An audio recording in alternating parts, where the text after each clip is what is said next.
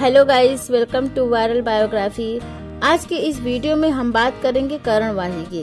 करण वाही एक भारतीय अभिनेता टीवी अभिनेता मॉडल और एक टीवी एंकर हैं, लेकिन इन्हें मुख्य रूप से टीवी इंडस्ट्री में एक अच्छे अभिनेता के तौर पर जाना जाता है। ये बात बहुत कम लोग ही जानते हैं कि ये एक अच्छे क्रिकेटर भी हैं। करण वाही का जन्म 9 ऑफ़ जून 1986 को पंजाब के मोहाली शहर में एक सिख खत्री परिवार में हुआ था। इनके पिता का नाम अरुण वाही है, जो कि एक सफल व्यवसायी है।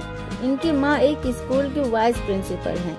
करण की एक बहन भी है, जिसका नाम ईशांका वाही है। करण ने अपनी शुरुआती स्कूल की पढ़ाई दिल्ली से की थी। जिस स्कूल में करण पढ़ते थे, उनकी माँ उस स्कूल की वाइस प्रिंसिपल थी।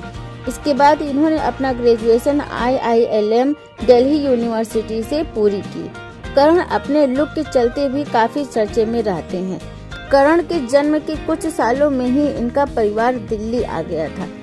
बचपन से ही इन्हें क्रिकेट खेलने का शौक था और वो हमेशा से एक क्रिकेटर बनना चाहते थे।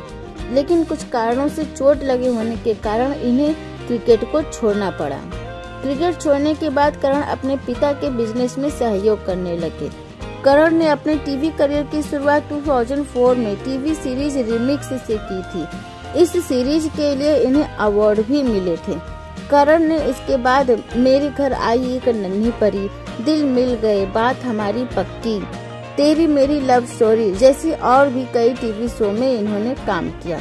अपने टीवी अभिनय से लोगों का दिल जीतने के बाद करण ने कुछ शो को होस्ट भी किया है, जिनके नाम है, नच Baliye Jhalak Dikhhla Jaa Indian Idol junior, dance India dance, ऐसे ही और भी कई शो हैं जिसे इन्होंने होस्ट किया है।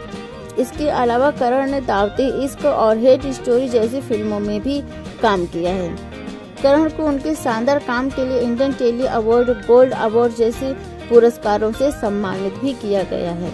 करण ने रियलिटी शो खतरों के खिलाड़ी में भी अपना जलवा दिखाया है। और इन दिनों करण वाही स्टार भारत पे प्रसारित शो चन्ना मेरे यहाँ में नज़र आ रहे हैं, जिसमें इनके किरदार को बहुत पसंद किया जा रहा है। तो फ्रेंड्स, आपको करण वाही से जुड़ी ये जानकारियाँ कैसी लगी? अगर पसंद आती है तो प्लीज़ लाइक से कमेंट और सब्सक्राइब करना मत भूलिएगा। और आपका इतना कीमती समय देने के लिए थैंक यू।